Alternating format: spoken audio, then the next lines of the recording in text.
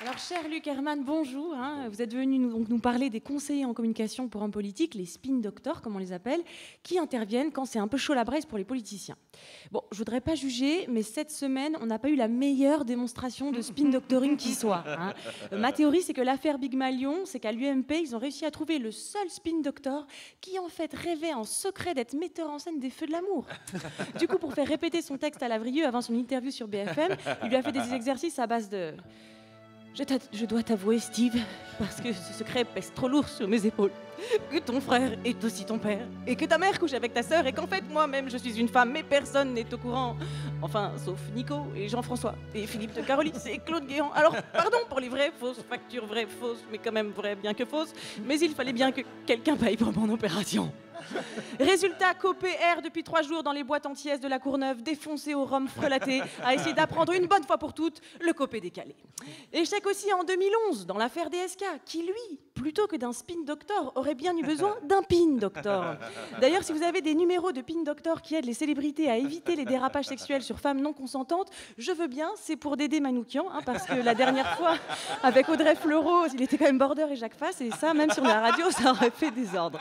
Sachez qu'ici aussi sur France Inter, les enjeux politiques sont grands et que certains auraient bien eu besoin d'un conseiller en communication, surtout chez les chroniqueurs. Souvenez-vous les dérapages de Stéphane Guillon ou Didier Porte. Franchement, au prix ils étaient payés, moi à leur place, j'aurais fait vachement plus gaffe à ce que je raconte. À deux vannes près, ils payaient l'ISF l'année d'après, c'est vraiment trop con.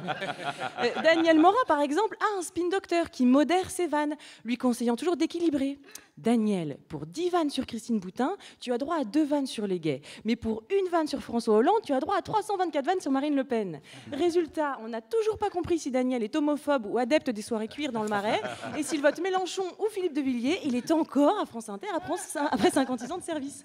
Alors pour Sony Chan, c'est différent. hein. Sony a en effet choisi l'option, elle aussi, de prendre un pin doctor qui enquête pour elle sur les invités mâles, à savoir que s'ils gagnent plus de 12 000 euros par mois, elle leur propose des services massage avec finition à la fin de l'émission.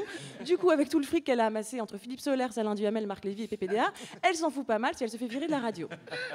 Alex Vizorek, quant à lui, plus malin, arrive tous les matins avec un camion de croissants, café et chouquettes qu'il livre directement à chaque responsable de Radio France. Il sait déjà que Mathieu Gallet prend un sucre et demi et un nuage de lait dans son voluto longo et que Laurence Bloch préfère une pomme pelée dans un yaourt au soja 0%.